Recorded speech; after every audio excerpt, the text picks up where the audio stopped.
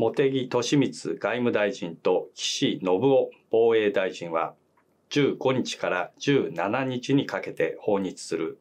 アントニー・ブリンケン国務長官及びロイド・オースティン国防長官と日米安全保障諮問委員会2プラス2を開催します。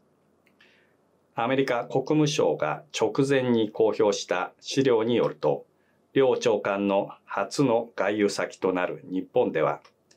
日米同盟を強化するとのコミットメントを再確認し、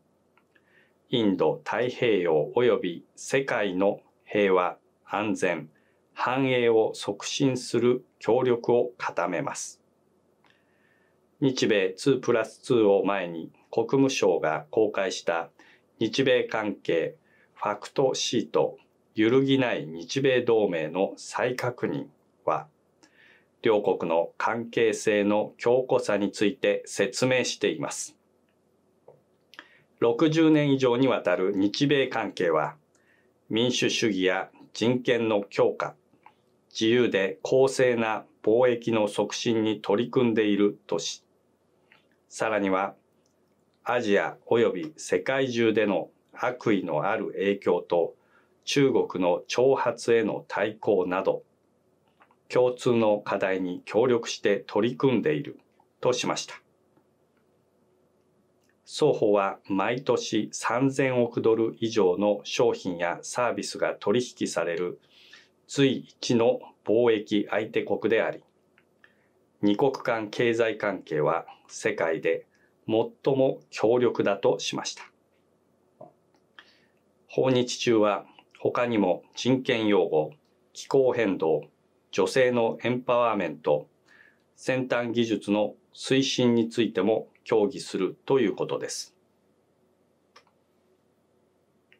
このファクトシートでは、アメリカ側は日本の防衛に対するアメリカのコミットメントは絶対的であるとし、アメリカは尖閣諸島が日米相互協力安全保障条約第5条の範囲内にあることを確認し、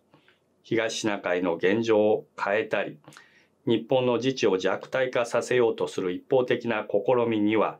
引き続き反対すると説明しました。また、横須賀を拠点とするアメリカ海軍第7艦隊の原子力空母ロナルド・レーガンや F35 ステルス戦闘機などアメリカで最も有能で先進的な軍事資産の多くは日本にあることにも言及しました。この事実は日米同盟の重要性や効果的な抑止力、そしてインド太平洋地域の同盟国との協力を通じて、地域の世界と安全を維持するという目標を表していると強調しました。12日のホワイトハウス記者会見にて、孫キム東アジア太平洋局次官補代理は、ブリンケン長官は今回の日韓訪問で、地域の人権と基本的自由の高い基準を促進し、効果的な国際ルールを確立するとともに、中国のような国家が国際的な約束と義務を遵守しない場合に、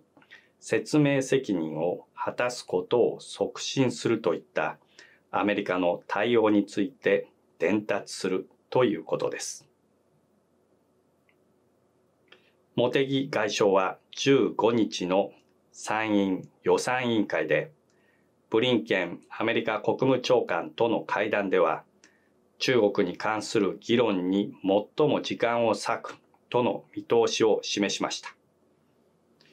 日米同盟の抑止力、今後の協力について、対面でじっくり意見交換したいと強調し、中国に対して